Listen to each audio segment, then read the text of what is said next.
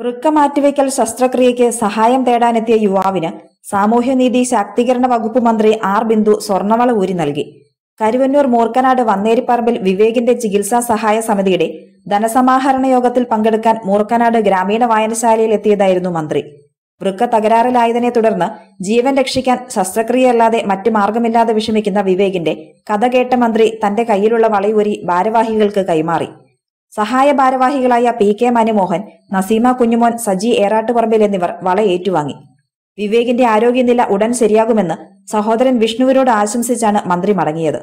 ഇരുപത്തിയേഴുകാരനായ വിവേക് കൊമ്പുകുഴൽ കലാകാരനാണ്.